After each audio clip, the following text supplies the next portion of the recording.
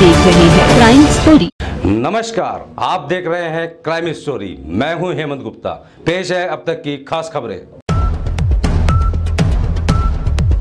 STF police कप्तान ने राज्य में वन जीव जंतुओं की तस्करी की रोकथाम के लिए एसपी के नेतृत्व में एक टीम का गठन किया गया। जिसमें वन तस्करों को दबोचने के लिए जाल बिछाया गया था जिसके बाद एसटीएफ के निर्देशन पर टीम ने कालसी से दो वन तस्करों को गिरफ़्तार कर उनके कब्जे से गुलदार की दो खाले बरामद की।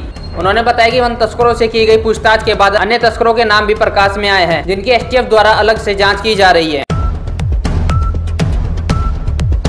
समाजवादी पार्टी की उत्तर प्रदेश में हुई गोरखपुर और फूलपुर लोकसभा उपचुनावों में बसपा के सहयोग से जीत मिलती देख, जीत से पहले सिद्धार्थनगर ज़िले में समाजवादी पार्टी और पीस पार्टी व बहुजन समाज पार्टी के लोगों ने एक साथ जीत का जश्न मनाया। उत्तर प्रदेश में भले ही समाजवादी पार्टी और बहुजन समाज पार्टी के बीच कोई आपसी चुनावी गठबंधन न हुआ हो, लेकिन यूपी की दोनों लोकसभा सीटों पर समाजवादी पार्टी की बसपा के समर्थन से जीत की खबरें पहले से ही सुर्खियों में थी। जीत के बाद दोनों पार्टियों के कार्यकर्ताओं ने एक दूसरे को गले लगाकर जीत की बधाई दी। मेरे नेता आदरणीय श्री अखिलेश यादव जी गोरखपुर लोकसभा में केवल एक सभाएँ की और उन्होंने वो मुख्यमंत्री होते हुए भी कम से कम 50 सभाएँ की। जनता, उसका परिणाम उनके सामने है।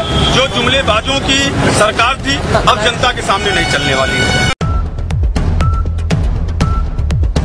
उत्तराखंड के रुड़की में आईटीआई के बीटेक फाइनल थर्ड ईयर के छात्र की खुदकुशी से आईटीआई प्रबंधन में हड़कम मच गया, जिसके बाद मौके पर पहुँची कोतवाली पुलिस ने मृतक छात्र के शव को पोस्टमार्टम के लिए भेजा। बताया जा रहा है कि मृतक छात्र अभिजीत गुजरात के सूरत का रहने वाला था, जो पिछले तीन साल से आईटीआई रुड़की में रहकर बीटेक की पढ़ाई कर रहा था। इस दिन से मृतक छात्र अभिजीत मानसिक तनाव में चल रहा था। वही रुड़की आईटीआई में पहले भी छात्रों की खुदकुशी के मामले सामने आते रहे हैं। पुलिस फ़िलहाल पूरे मामले की तलाश में जुटी है। अभिजीत सिंह वंशिया नाम का स्टूडेंट था। बस सुबह कुछ स्टूडेंट इसके साथ ही लोग इसको खटखटाया। उन्होंने सोचा, अभी देर तक कुछ बच्चे देर तक सोते हैं, सो रहा होगा।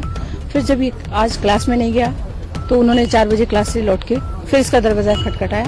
नहीं खुला तो उन्हें थोड़ा शक हुआ। उन्होंने एक दो लड़कों को और बुलाया और उन्हें दरवाजे में थोड़ी सी दरार है। उस दरार से झाँक देखा तो इसने हैंगिंग की हुई थी। ये बीटेक थर्ड ईयर का है। ये गुजरात का रहने वाला है, सूरत, गुजरात।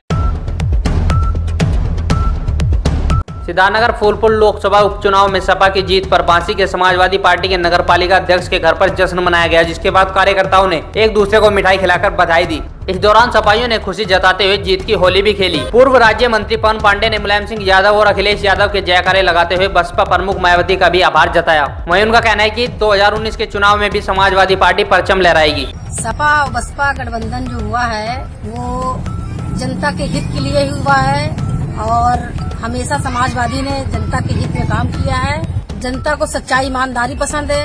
आज हमारे मुख्यमंत्री अखिलेश यादव जी और सुश्री मायावती जी, इन सब की सच्चाई, ईमानदारी सामने आई है। लेकिन आज जो गठबंधन है, वो हमारा गठबंधन रंग लाया। आप देख रहे हैं क्राइम स्टोरी